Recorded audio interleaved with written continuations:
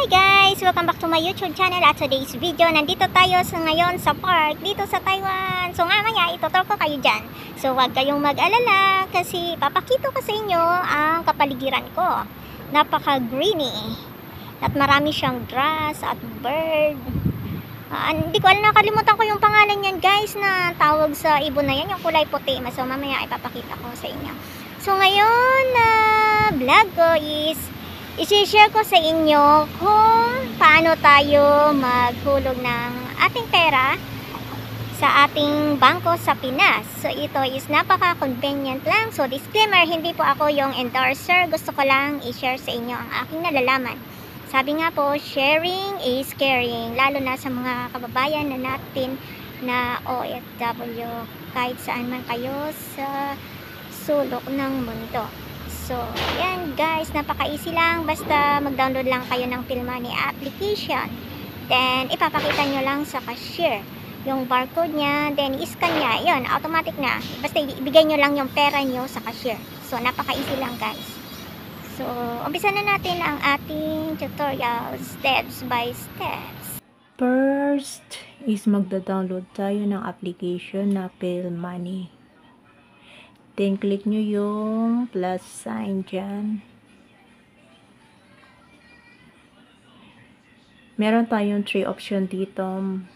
Bank to bank, pick up, door to door. I-click nyo lang kung anong gusto nyo. Then, um, kailangan nyong i-add yung new receiver.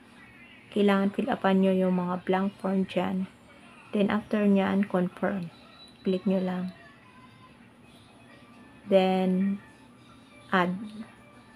Then, para maghulog ng pera sa bank account na sa Pinas, click nyo yung remittance. Then, mode of payment.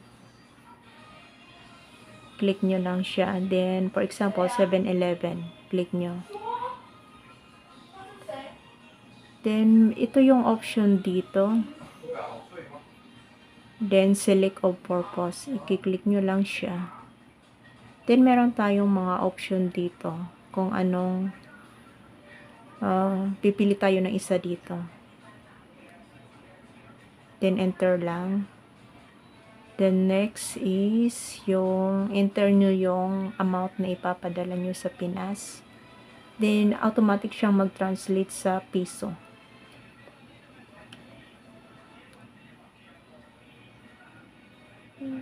Ita-type nyo guys manual kung magkano amount ang gusto nyong ipadala. Then, yung coupon, pag meron kayong coupon, pag wala, kailangan ni-add nyo siya. Then, pag wala, proceed tayo sa submit. Kailangan i-check nyo yung mabuti kung tama ba yung na-enter na amount natin bago mag-enter. Then, ito na yung mag appear Kailangan check nyo siya. Then, payment. Ang payment nito is punta lang tayo sa cashier. Then, ipapakita natin yung barcode sa kanila. Then, ibigay nyo yung payment. So, ayan guys, napakadali lang, di ba? So, sa mga hindi pa nakakaalam kung anong application at, at kung paano tayo magre-remit, uh, please guys, gamitin nyo na yung Pay Money application. So, napakadali lang guys. So, once again guys, thank you for watching and sa mga hindi pa nakaka-subscribe sa aking channel, please subscribe on my channel. At huwag nyo na rin kalimutan i-click ang bell para sa mga susunod na mga upload ko. So, bye guys! See you on my next vlog!